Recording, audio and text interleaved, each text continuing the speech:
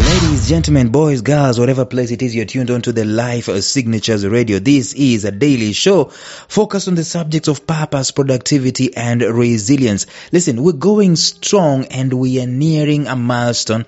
In the next few months, we will be hitting 2000 plus episodes on this show. I have no idea what I'm gonna do when we get there, but you stay tuned to this. This show, like I've said, it focuses on three things purpose, productivity, and resilience. It's a teaching, motivating, inspirational podcast. If you're looking for inspiration and motivation and teaching on those three subjects and any other constituent subjects on those things of personal development, this is where you come to find it on a daily basis 10 to 15 minutes. If I go past that, very few occasions will go past 15 minutes, but it is between 10 to 15 minutes of your time in a day, a dose of inspiration and a dose of motivation. Today, we are going to continue talking about what we started talking about spirit. And we are zeroing in on the six signs that the spirit within your organization is awesome. We've already done four. Let's look at the fifth today. Stay tuned.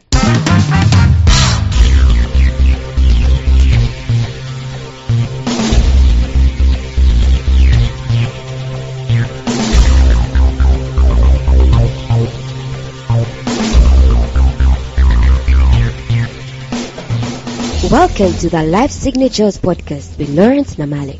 Lawrence is a life coach, author, and keynote speaker who loves to tackle different topics on purpose, productivity, and resilience. His mission in life is to awaken all your boundless possibilities available in you. Life Signatures podcast is dedicated to bring to reality every single person who knows that deep down in their gut there's got to be more to life than this. And now, here is your host, Lawrence Namale.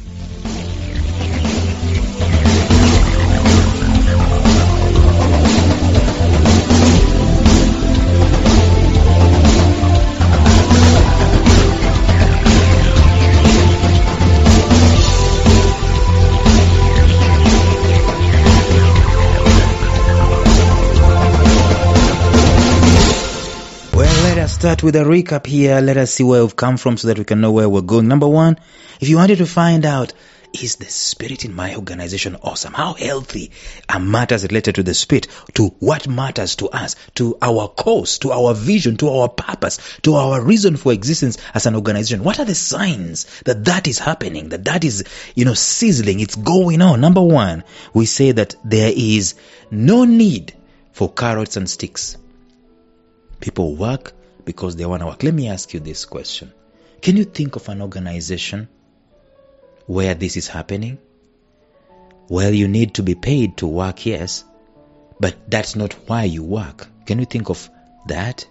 See, I, I can stop here and I can do another series just on that particular premise. Starting with who was the first guy to be rendered jobless? Who was the first guy that they said was jobless, and what was the context under which they said he was jobless? You f- you find that matters related to the spirit are, can can be unpacked in that particular scenario. But I, I don't want to go there. The thing is that an awesome organization where the spirit is vibrant, you don't need people to have packs so that they can work. You don't need people to have punishment so that they can be able to work. They are self motivated. And these are some of the things that you see people t- telling you in interviews. I am self motivated, I am self driven, and all that stuff. Right? I don't think someone can tell you that they are self driven and self motivated if they are not connected to matters related to the spirit. So if someone comes to the interview today, they have never worked for your organization and they tell you they're self motivated, I will doubt that. Because self motivation is not unattached it is not unhinged. It is connected to the matter. It is connected to the spirit. It is connected to what matters to that particular spirit, eh, that particular organization. It's connected to what matters to the purpose of that particular organization. Anyway, number two, there is no commoditization. In other words, people are working as if it's a cause. They are on a mission. They are not there to get uh, salary at the end of the month. They're not there for sundown and payday. They are working because it's a mission. They are on a course. Number three, there is a great sense of belonging. People want to continue being there. You know, they, they feel, they sense it's like a family. It's like the way they, they, they identify with the cause the organization. They're proud to be working there. Not because of the outside things like, uh, you know, the colors, the, the grand design of the organization, the ambience. No, they're there because of the spirit. They're there because of the impact, the change, the contribution, the, the transformation, the, the innovation, the problems that they are solving. That's why they are, they are feeling a sense of belonging. Number four, there is, we talked about this, there is organic growth. Yesterday, talked about this. Please go back to that episode yesterday and check it out. We talked about organic growth. It goes without saying that when there is organic growth, I mean, where there is a vibrant spirit, the life of the spirit is vibrant, growth is an automatic. It's a, it's an afterthought. It's a byproduct. Okay. Now listen, let's go to number five.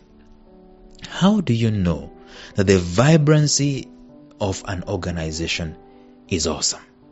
Number five, there is care for one another. Let me tell you, there are very many dynamics that go on in organizations. There are individual dynamics. There are people, you know, two people within a particular group that can be close to each other and not close to the, the rest of the group. But you know things are going on well when someone doesn't show up and it's a crisis. Not a crisis because things cannot move on, but a crisis because everyone is concerned. What is wrong? What, why is, why isn't she here? She's supposed to be here. Not because they are, they, they, they are feeling the, the, the heaviness or the pinch of the workload because someone is missing. No, but because there's this already sense of belonging and there's, they, they're connected to the spirit of the organization. And they know that, that person is connected to the spirit of the organization. So they're thinking, she should be here.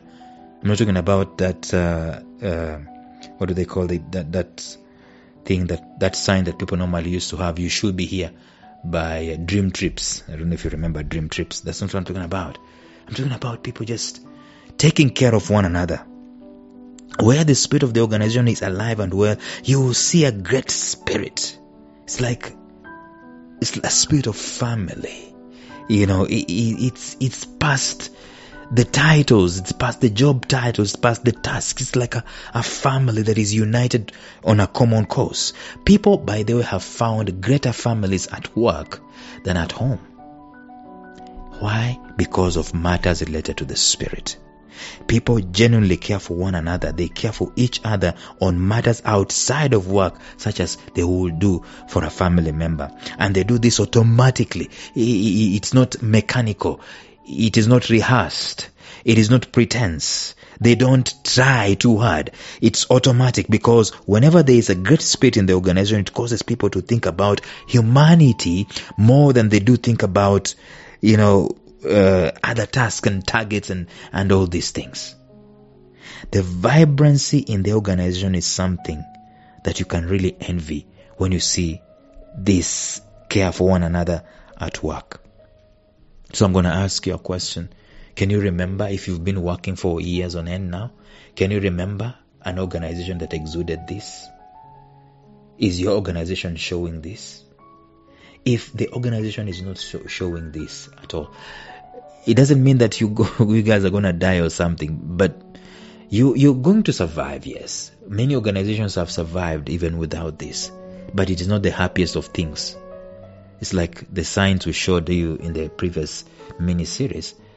If the spirit is not there, people are going to leave and others are going to come. There's a lot of attrition, just go coming and going, coming and going. But when there is a spirit of belonging and they care for one another, the vibrancy in the organization is something that can be envied. And the same cannot be said when the focus on the organization is not spirit filled and, and spirit led. That's the way it is. So if you wanted to know, it is awesome. We are awesome. Look at how people care for one another. Look at how they care for one another when they others fall behind their targets or their tasks or something happens to them outside of work. Look at that. it tells you something. The only thing that can unite people to that extent is when they are connected to the spirit of the organization. Tomorrow we will continue. In fact, we'll bring this uh, mini series in the in the larger series to a close when we will be talking about the last part, the last sign that the spirit in the organization is awesome. Until then, bye bye.